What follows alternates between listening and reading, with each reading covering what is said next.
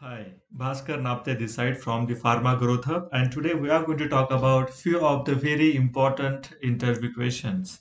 And today's topic for discussion is the linearity study. So now this is the part two. In part one, we discussed about the three very important questions related to the linearity study. And in part two, we are going to talk about three more important questions. And uh, let us begin with the question number one. So, for which analytical procedure linearity is not performed? According to the ICH, maybe USP, or maybe the ANVISA. Now, what regulators talk about when it comes to the linearity of different test procedures? So, there are test procedures for which linearity study is not performed, and here is the answer. So, linearity is not performed for qualitative analytical test procedures. And very specifically identification test and limit test the linearity is not performed now when we give the answer to the interviewer that okay for qualitative procedures like identification and limit test linearity is not performed the obvious question could be the obvious next question could be Please tell me why linearity is not possible for qualitative procedures like identification test or the limit test for an impurity. So to answer this question, you need to understand what are the requirements to establish linearity. And there are two important requirements. The first one is to have the different concentration solutions for an analyte and the second one is the measurable response to those different concentration analyte solutions. So what is possible? You may prepare a different concentration of an analyte solution 10 ppm, 20, 30, 40, 50 ppm because you have the analyte impurity or drug substance in your hand and it is very easy for you to make the solutions out of them. Now your test procedure is for let us say limit test for an impurity by TLC method and you are going to draw you are going to put a drop of uh, 10 ppm impurity A solution onto a TLC plate and going to run the TLC plate to identify what is the size of that particular spot.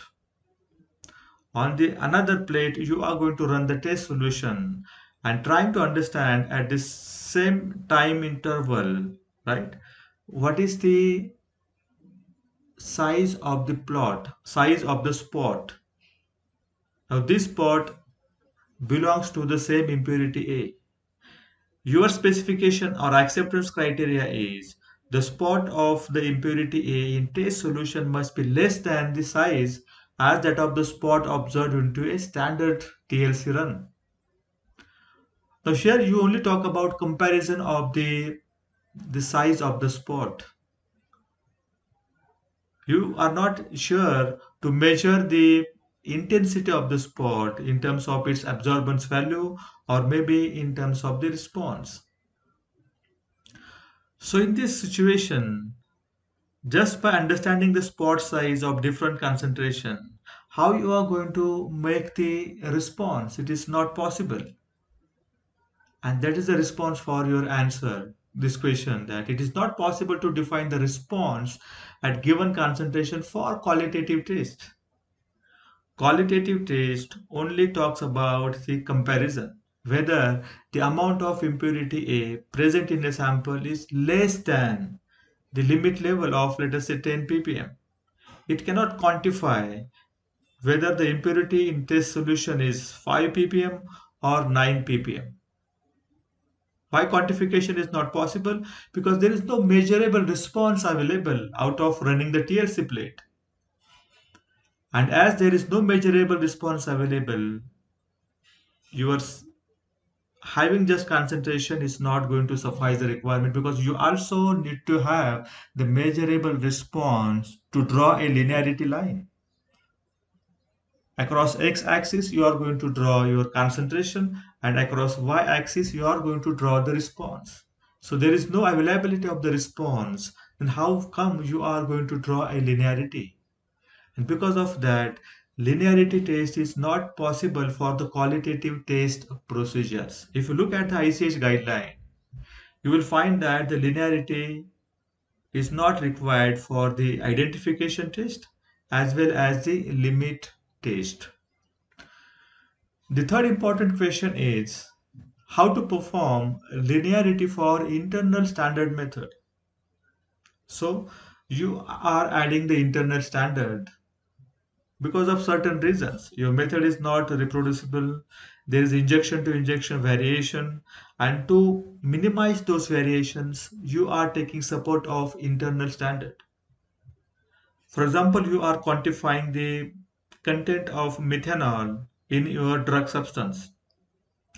And you are taking ethanol as an internal standard and running the gas chromatography systems to understand their peak ratio so whenever internal standard comes, you are bound to measure the peak ratio of your analyte divided by the internal standard. This is very common uh, take, uh, method used whenever the internal standard is used during the analytical procedure. Now the question here is, methanol is my analyte and ethanol is not my analyte. So, do I need to only perform the linearity for methanol? That is my interested analyte. Now that is the question, right? Understand that what are the requirements of an internal standard? Assume that if your internal standard do not give the linear response,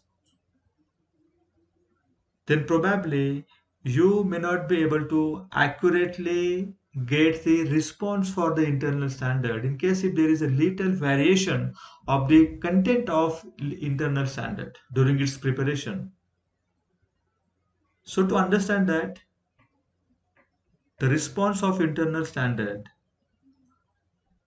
at a different concentration level is not the limiting factor and it is it is proportionately increasing by increase in the concentration.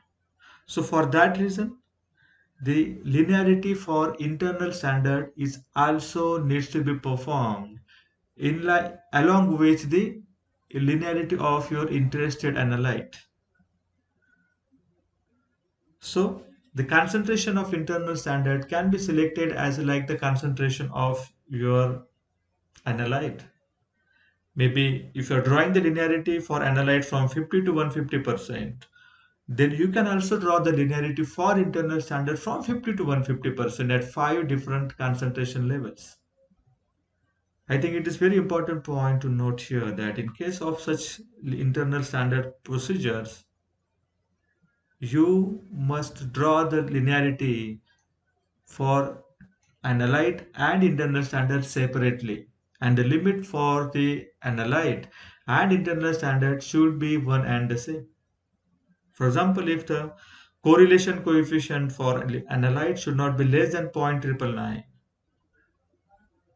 this is your limit for the analyte.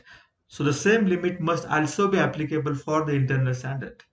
That is correlation coefficient for internal standard should not be less than 0.999.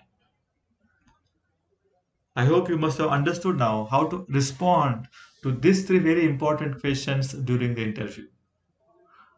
So I will also meet you in part 3 where we are going to talk about five important questions related to the linearity. Thank you.